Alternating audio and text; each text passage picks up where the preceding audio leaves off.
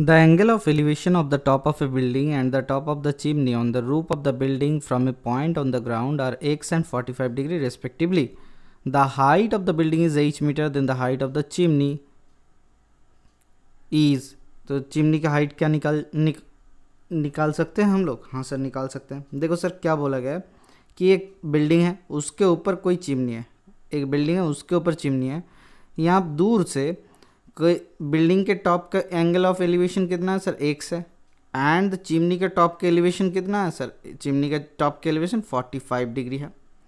तो हमें अगर ये हाइट बिल्डिंग का हाइट एच दिया हुआ है तो इसका हाइट क्या निकाल जाए, निकाला जाए? तो the then the height of the chimney chimney का हाइट अगर हम लोग सपोज़ चिमनी का हाइट सी ले लेते हैं, ठीक है?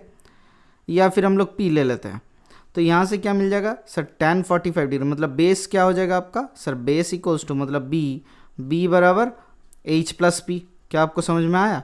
कैसे आया? देखो टेन फोर्टी फाइव डिग्री का वैल्यू होता है ये वाला साइड अपॉन ये वाला साइड तो टेन फोर्टी फाइव डिग्री का कितना हो जाएगा? वन हो जाएगा. तो ए बी सी पॉइंट पकड़ लो ना। तो A B C A B upon B C ठीक है? तो ये अगर बी बेस बेस का लेंथ बी स्मॉल बी ले लेते हैं। उसके बाद हम लोग छोटा वाला ट्राइंगल को पकड़ते हैं तो एच अपॉन बी बराबर कितना हो जाएगा सर टेन एक्स यहाँ से कितना आ जाएगा? दोनों तरफ़ से बी बराबर एच कॉट एक्स लिख सकते हैं। हाँ सर तो दोनों तरफ़ से कंपेयर कर लेते हैं। तो दोनों का b इक्वल कर देता है, ठीक है? तो b इक्वल कर देंगे तो हमें क्या मिल जाएगा? सर एच प्लस पी बराबर एच कॉट एक्स ठीक है?